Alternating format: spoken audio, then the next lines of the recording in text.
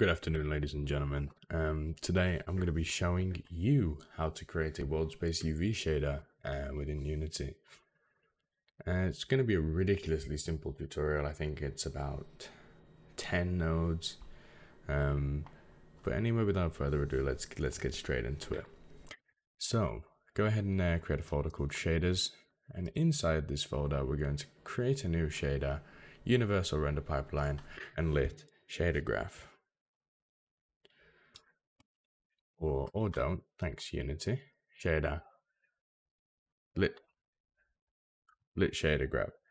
I'm going to call this world space UV. Okay, so um, once you've created the UV uh, shader graph, we need to create a couple of parameters, probably a couple, couple of properties, we call them. Um, first thing is going to be a texture 2D. This is we're just literally going to call this texture. And then we're also going to have another texture 2D called normal map.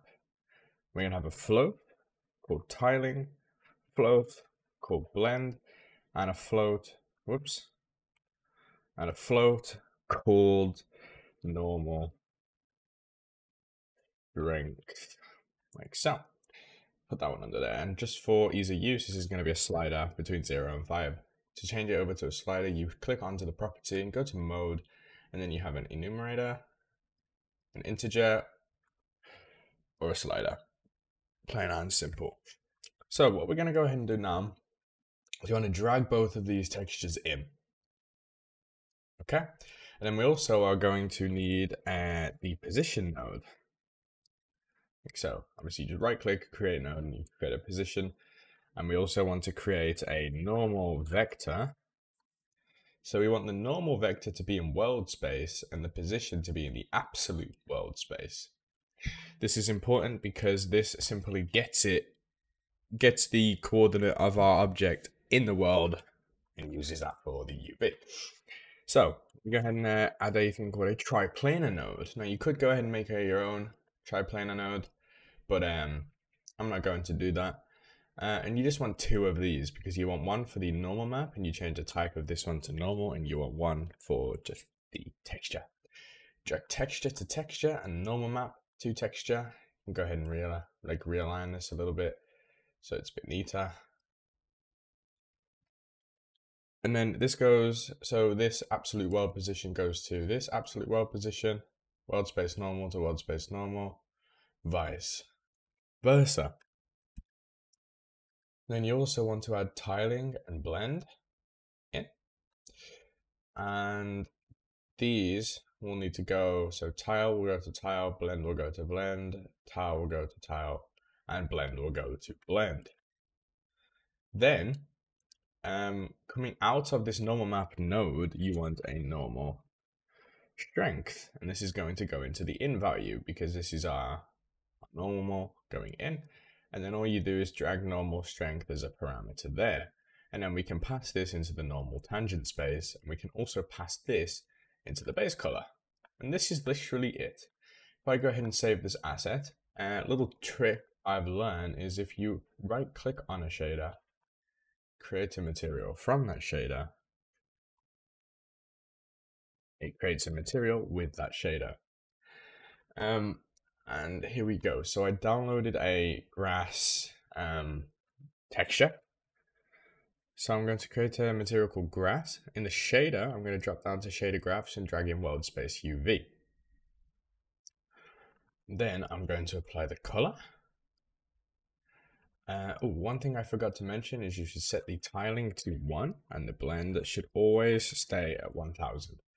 Um, it's a weird number, I know, but it's just the one that works the best. So I'm going to go ahead and reset this. So now as you can see, we have this going around the ball, the grass color. Uh, drag the normal map in and you can adjust. As you can see, the normal map is working. And then we drag this on and as you can see, it's a perfect, it's perfectly tiled. Now, where this comes in handy is if, for example, I place the cube in and apply this, if I go top down and focus on this cube, see how it just lines up? The texture is always going to be in the same space. Now this is useful as well Because if we used it on something like our prototype ground that we made and add the gray texture, drag this in, if we have a cube with this material as well, these grids are always going to match up. It uh, and they'll always be a meter by a meter, no matter what the UV looks like on an object, because it doesn't actually use the 2D UVs. It references the position to create those 2D UVs. Um, and it just means that you'll never have those weird um, grid overlaps. They'll always and always line up. I wonder if there's anything else I could use to demonstrate it. Even on, even on, let's say, a cylinder, they still line up, right? So because that's really wide there, it goes wide around the corner, it's all white. You can rotate it. Obviously, some rotations will cause weird issues. Nothing you can do to get around that. But even at the front, you see, it lines up perfectly. Always. Um, and yeah, it's just useful because things don't need to be tiled. Now, one thing I've noticed with this is the gloss. So we can go ahead and uh, adjust the gloss a little bit. So we've got a float called gloss, and once again, set this to a slider for ease of use. We can go ahead and drag this under smoothness, like so. Quick save. Now we can control the smoothness in a slider. And uh, there we are. If I adjust the normal strength, you can see it goes up and down. Um, one thing that we will eventually add to this um, is a displacement map, which um,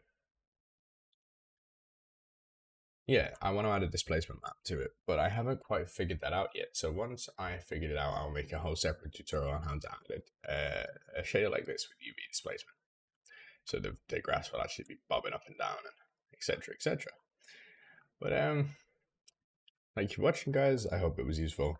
I'll catch you in the next one. See you later